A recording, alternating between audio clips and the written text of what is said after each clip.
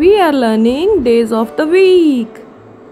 There are seven days in a week Sunday, Monday, Tuesday,